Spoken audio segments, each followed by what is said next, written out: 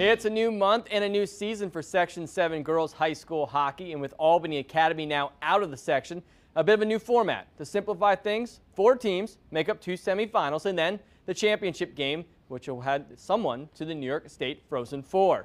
Saranac Lake and Plattsburgh High School making up half of the sectional bracket. Pick things up in the first period. The shots were there, but the goals were not. 15 minutes in, we had a scoreless hockey game. Second period, different story, sort of. Taylor Hayward skates in the zone, has a chance, can't put it away, but then she gets a second chance before the next whistle, bangs it in, top shelf, and it's 1-0 Plattsburgh. They would keep pep peppering the Saranac Lake net, but Whitney Pistone, not many cracks in this wall today, keeps it at a one-goal game. Before the period is out, Sydney Adolfo does find an opening, feeds from behind the net, comes in front, bangs it home, 2-0 Hornets. That's all they need. They win 3-0 overall to beat the Red Storm and advance PHS to the final versus the other semifinal winner, which is Beekmantown, who beat Lake Placid. The championship game is Saturday night. The Romney Stafford Fieldhouse, 6:15 first puck drop.